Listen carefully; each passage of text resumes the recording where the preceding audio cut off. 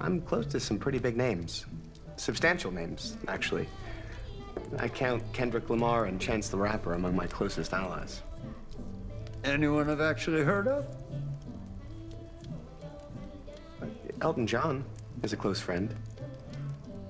His real name is Reginald Kenneth Dwight.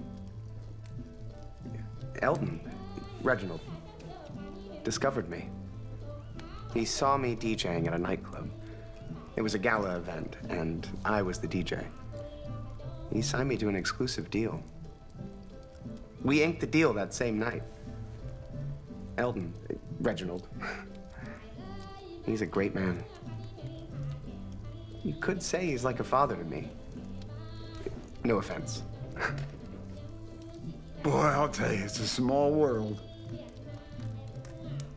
I just happen to be a close friend of Reginald's, too.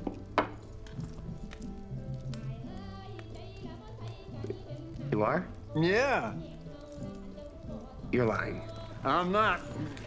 You are. I'm really not.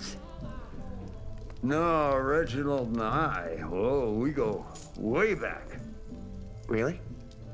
I was his personal limo driver for 10 years. Yeah.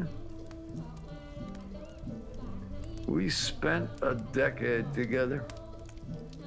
Reginald and I. Driving, drinking, talking. We became close friends. Now, what are the odds that you would be close friends with him, too? Yeah. Small world. so, anyway. I'll tell you what. What? Let's call him. Reginald? Yeah. It'll blow his fucking mind. Are you kidding?